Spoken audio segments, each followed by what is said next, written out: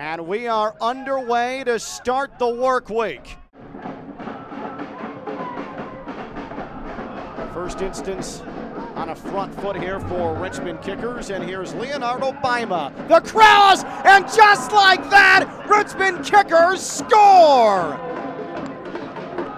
That didn't take long. A majestic entry from Baima, who got his first start of the season. And that is an expert finish. Not easy, but he makes it look simple. You don't see that very often. Let's see if Pius can get it into the air this time. And this time he does. And it's a goal! Second time's a charm on the corner. And it's headed home by Shalom Dutey. We are level. The set piece perfection. Puts it right on the head of Dutey.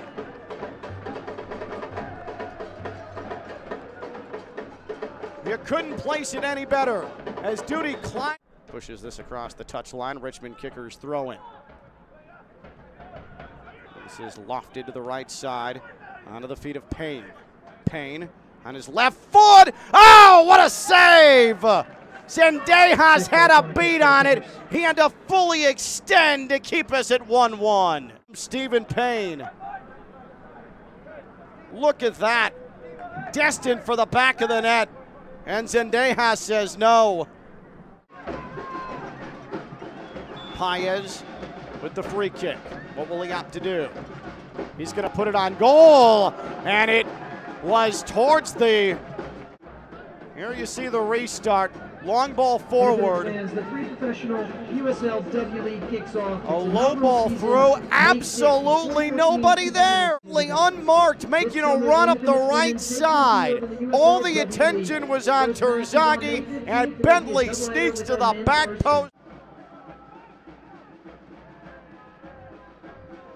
It's well done by Mbuyu, who was grabbed as he pushed that to the outside. And a card is shown. And a red is shown. And Mbuyu. And he absolutely came in with an elbow.